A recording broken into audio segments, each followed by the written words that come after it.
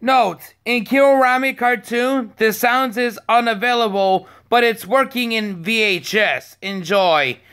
Well, what's going on, guys? This is Hunter here. Well, Kiro Ramy keeps telling me to react to everything that he has made so far. But this one is a cartoon from the 1930s called The Evil Clone.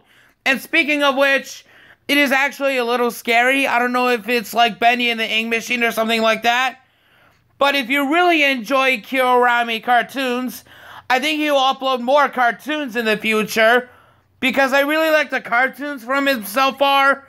Let's see how far we go in this one. The Evil Clone.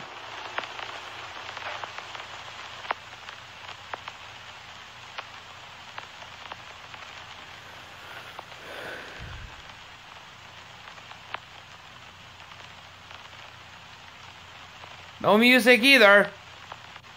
Because it's that's silent.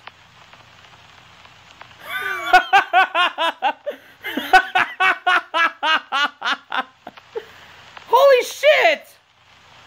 Motherfucker! In the home? Oh my god, I think I'm gonna enjoy this one. It's really good, you know? It's 4 a.m. What the fuck is 4 a.m.?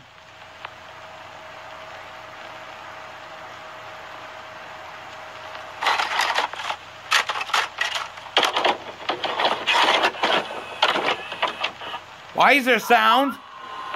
You said sounds are unavailable.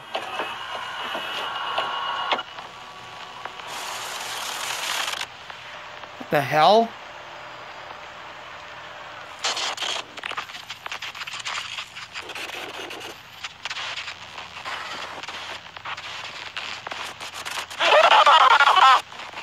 Oh god! I thought the sounds are unavailable! What? What the fuck?